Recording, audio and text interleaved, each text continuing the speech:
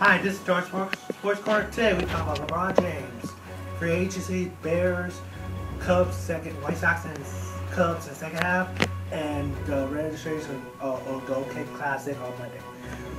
Now we talk about the NBA free agency. LeBron James signed a four-year deal with the Lakers, and LeBron James going to Hollywood signed four-year year deal with the Lakers.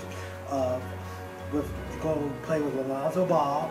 I think Lonzo LeBron, please be quiet about LeBron. I think the Lakers will not win a championship this year. The Lakers will win the champ. I think the Lakers will win three years, and I think I got. I think um, I got. I think Golden State Boston in the NBA Finals 2019. I think Boston will beat the Golden State Warriors and the Dynasty. Um, the Chicago Bears start training camp season, training camp today, uh, yesterday.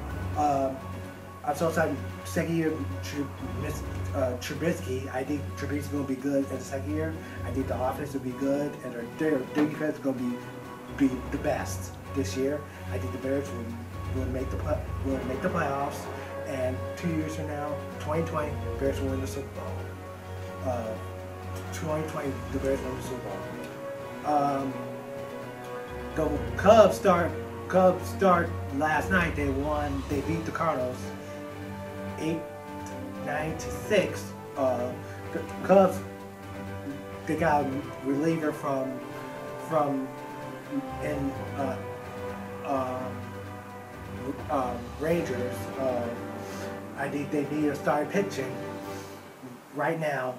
Need a half, I think Happ for the Blue Jays or Corey Hams or from the Rangers.